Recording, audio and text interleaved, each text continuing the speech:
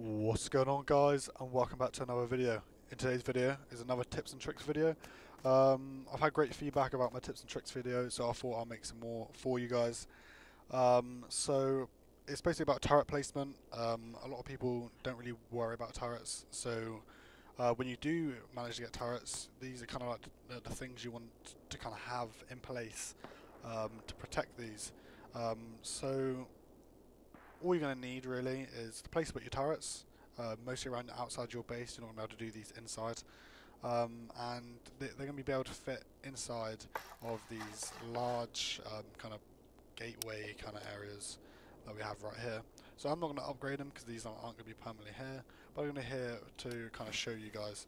So the first one is, so if I have my kind of turret here, and I get it to face this way. So it doesn't have to be on a square ceiling or square foundation. It doesn't have to be anything like that. Um, but basically, these are the things that are going to protect your turret um, from being shot out. So these have pros and cons. So the first one is a like a prison cell um, wall or prison cell gate. So you're going to have to have a prison cell wall and a gate to obviously get in and out. Um, the wall obviously you can't get through and a gate obviously you can. Um, but yeah, so there's pros and cons to this. Pros are um, the prison cell gate takes more rockets or more explosives to get into, um, but you can shoot through these. You can actually shoot through the prison cell gate, as I've known from earlier on uh, by one of my teammates. So thank you to him um, for letting me know that. But yeah, you can actually shoot through um, this, like this this gate which is kind of insane. I, I never knew you could, so you can get a compound load, uh, so make sure it's behind high externals and people aren't trying to grief you. Um, so to keep it kind of non-visible uh, and all that sort of stuff, just to keep it out of the way. Um, but yeah, no, they are pretty secure. I think they take three, mm, I think it takes like two rockets um, to, to get through it. Two or three rockets to um, break, the, break the gate, and then obviously three HVs depending on if the game was to bug out because it's console edition um, for the um, for the turret. So every turret you see, and if it has a prison cell gate on it, then it would take roughly around two to three rockets, and then three HVs, maybe more, a lot more. I've had it had it so 17 HVs for a single turret, and it was direct hits, so it can go either way. Um, but yeah, let me just head over and really quickly just go get the uh, the other kind of thing um, that I forgot to get because I'm so unprepared. So I'm going to cut back to that. Alright, so I'm back now real quick. And yeah, so the next one is a chain link fence. Um, again, pros and cons. Basically the opposite of what this is.